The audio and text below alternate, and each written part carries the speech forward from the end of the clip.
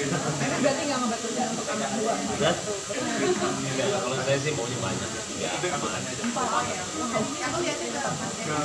Coba yuk kabar apa? Nenek Hiro sakit. iya alhamdulillah tadi udah ada di rumahnya jadi dia alhamdulillah udah pulang tapi juga takut banget sih karena kita juga nggak tahu dia sudah beberapa keluarganya di mana kita juga nggak tahu pas sakit itu takut banget karena ya buat keputusan kan saya tanya mas apa hubungannya? Tuhan ya ya lagi karena kan buat harus ada ya. Ada tanda apa jadi ya ya, ya bantu orang juga gampang itu ya. Memang benar-benar dari diri kita ya kita ya sakit gimana ya tanggung jawab kita tuh jauh.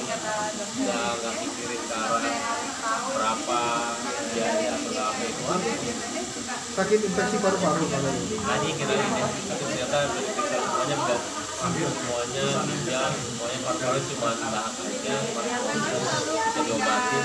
Alhamdulillah sih nggak ada apa-apa karena sebelumnya tuh waktu itu protokol sempat jatuh juga pas saya duduk itu pikiran itu lagi kerja mau pikiran akhirnya pulang